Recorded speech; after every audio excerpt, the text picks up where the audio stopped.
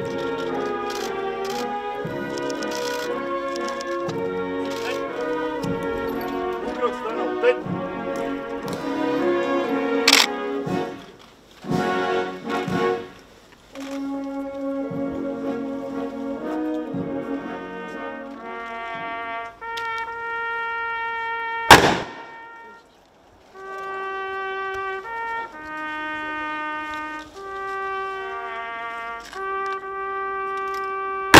Svoboda a mír nebyly nikdy zadarmo.